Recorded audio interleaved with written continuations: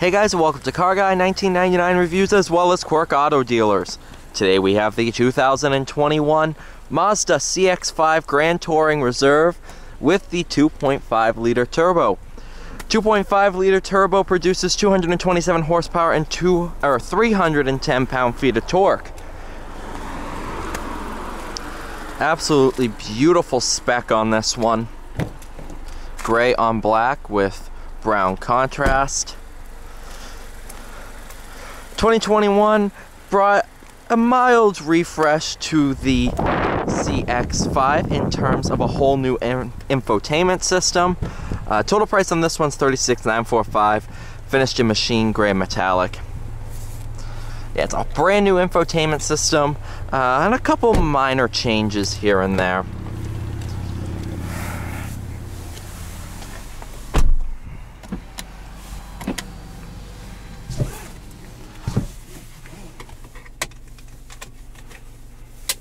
Here's that brand new infotainment.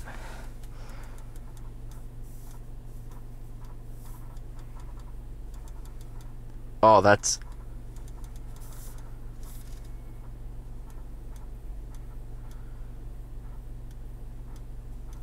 You can hear the change. It's pretty cool.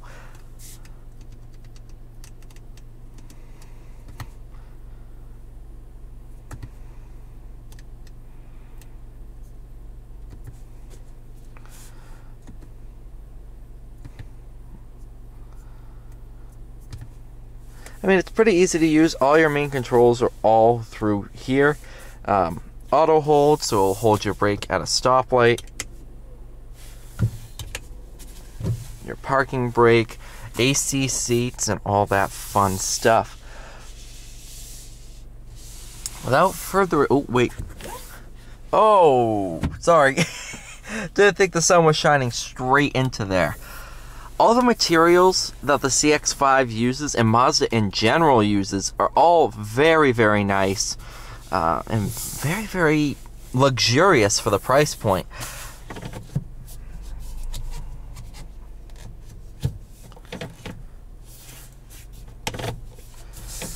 Let's pop up that backup camera, great quality. And let's head out before the next train comes because I had to stop filming because the train was here.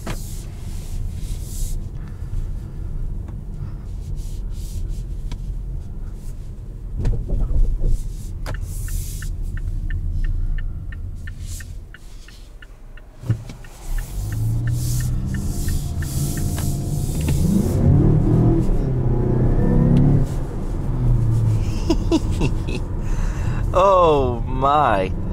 There's a ton of torque in this thing.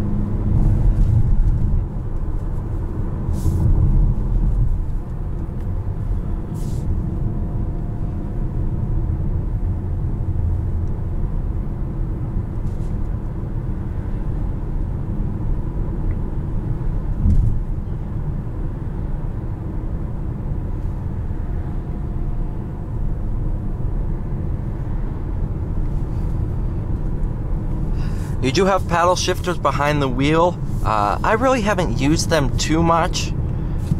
Might as well you try them now. The automatic does an awesome job in normal drive mode anyway, so...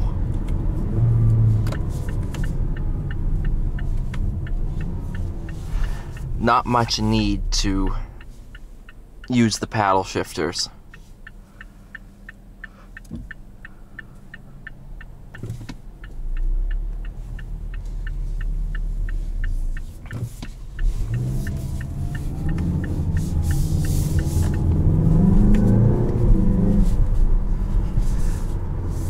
Mazda prides itself on making the best driving vehicles possible.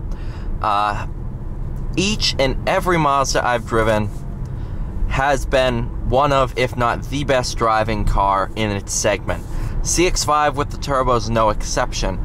Very, very sporty feel to everything, and it just feels ten to twenty thousand dollars more than what its actual price is and that's pretty hard to do.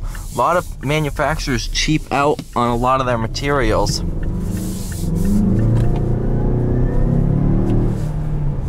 But not Mazda.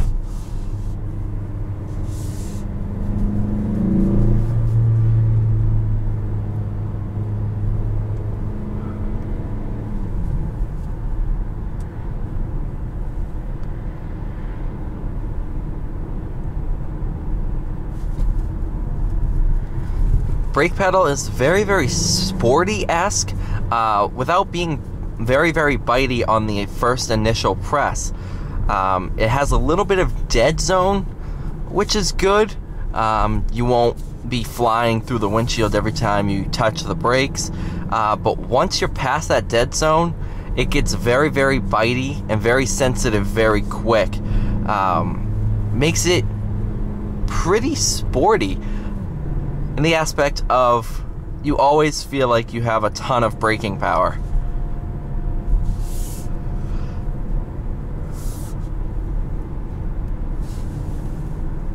Steering is very precise, um, nicely weighted in sport mode. Disengage sport mode. It lightens up a good amount. But no, sport mode's where it's at.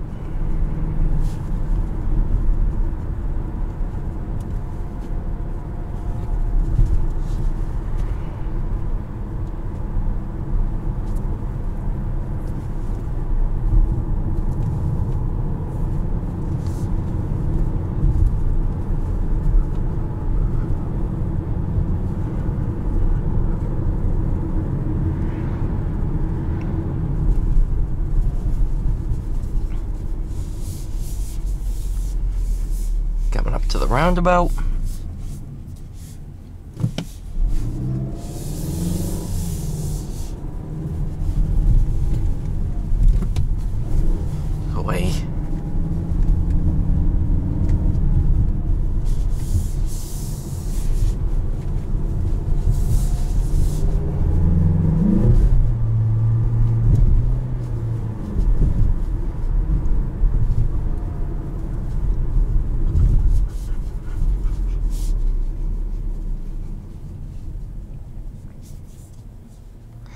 What Mazda's done quite well uh, is not make the CX5 sound like your typical four cylinder.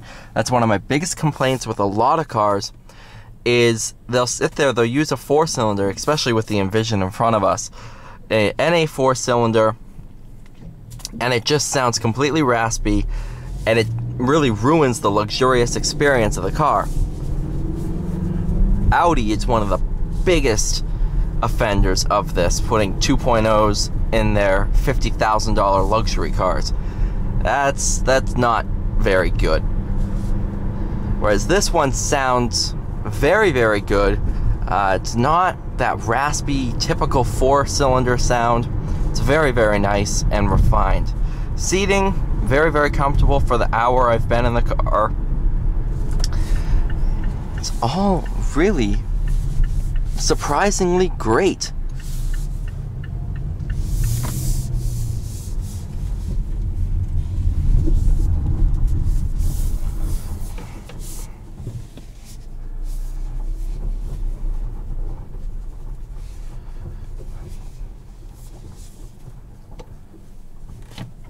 Thank you guys so much for watching. Please like, share, and subscribe, and I'll see you all in the next one.